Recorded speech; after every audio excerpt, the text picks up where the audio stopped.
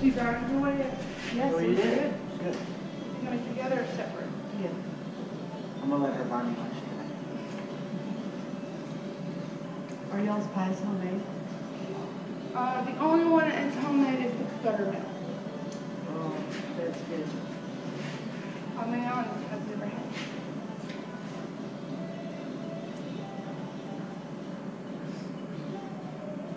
I haven't had a buttermilk pie since my grandmother died. Oh, And that was, you make them is that something she made? she died last year in December, December 9th, exactly one month from her birthday. Oh. She died, uh, her birthday was November 9th, she died December 9th. She had a massive stroke.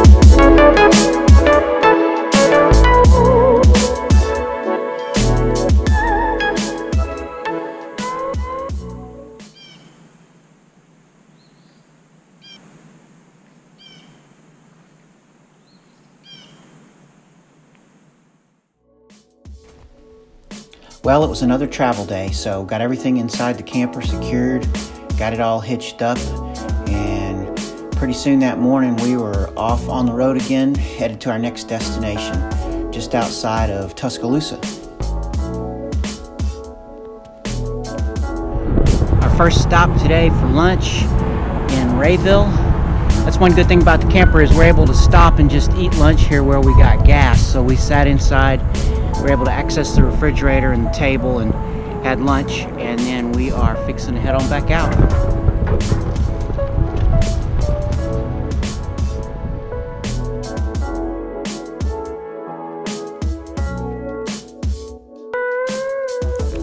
Obviously, these videos, I'm doing them after the fact, and so I can't remember this day how I planned my stops out, but we stopped at a two random, one of them was a raceway, and one of them looked like a Love's, two random stops that we had just charted out, and they were the right distance between each other.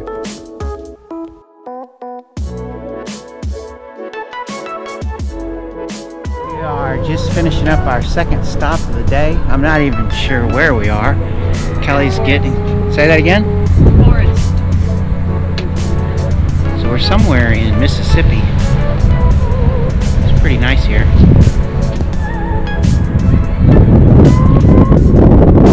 So we got another couple hours and it's so it's off to Lake Lurleen.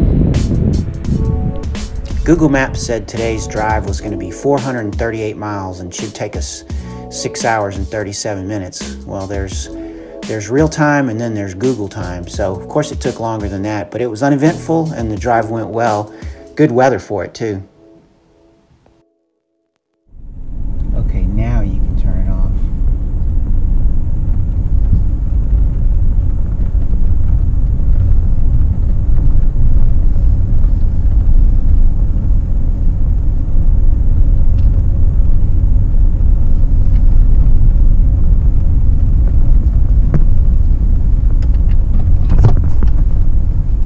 Wow, they got it clamped down. Western Alabama Birding Trail.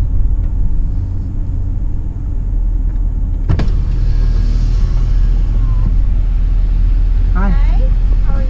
Hi. I'm Vance Posey. We have that reservation. Yeah, I'm sorry. Posey, we have that Oh, you reservation. Yes, ma'am. The park is actually in Coker, Alabama, which is just outside of Tuscaloosa. And we made it there just before sundown and had time to find us a spot and get pulled in. These camp spots were interesting in the way you pulled through them. Not that I've been to a lot of campgrounds, but I had never seen a pull through campsite worked this way, where you just drive right in and park on the grass, and then pull right on out when you're ready to leave. It was very convenient, very easy to use, user friendly. I had just enough time before the sun went down to get the camper set up and secure for the night. Yeah, I haven't had a sleep all night. I've been working on the last LP. How much sleep do you need to be alert? This is Lake Lurleen State Park. Just it's in Coker, Alabama, which is just outside of Tuscaloosa, Alabama. And so we rolled in pretty late last night, well, right at sunset, and didn't really get to look around at the park this much this morning. I mean, didn't get to look around at the park yesterday, so we're out this morning for the first time.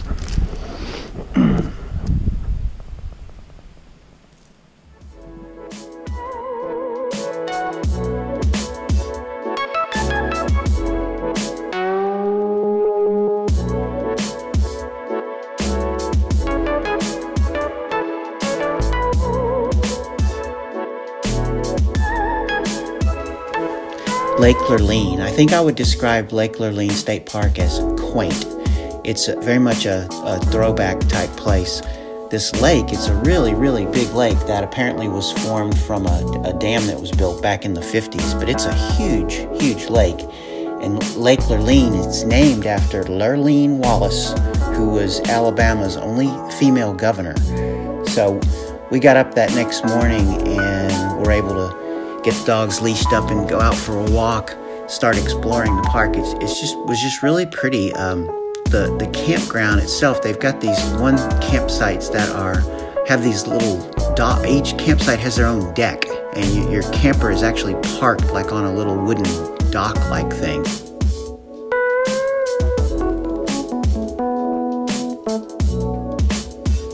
So as you can see there on the right, these um, hard to describe. Like I said, it's like a little deck area that you back your camper out onto, and then each campsite has a little deck then uh, outside their camper. It's really unique. I'd never seen anything quite like it, and it's obviously old school. It's been here a while. This happened to be the week we were there was the, the, the weekend coming up was going to be an Alabama home game against arch rival Tennessee.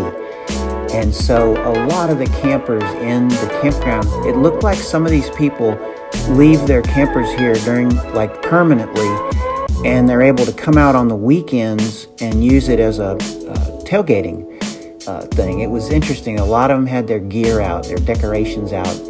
The next thing, uh, you know, after we got back from that long walk in the morning, it was time to head out for the outing of the day. We were looking for a place to have lunch somewhere close by, local in the area.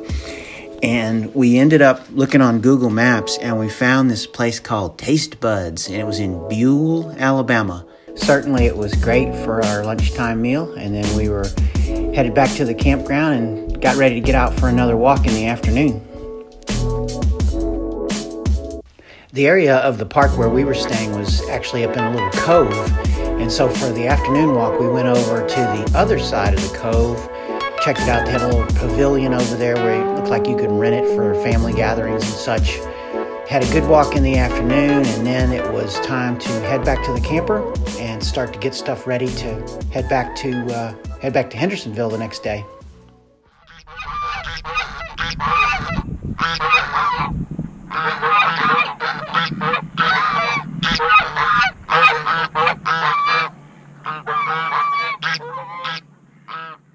So we are we are taking off this morning, last leg of the trip.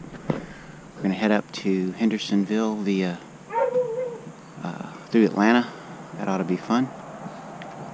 Looking forward to getting back.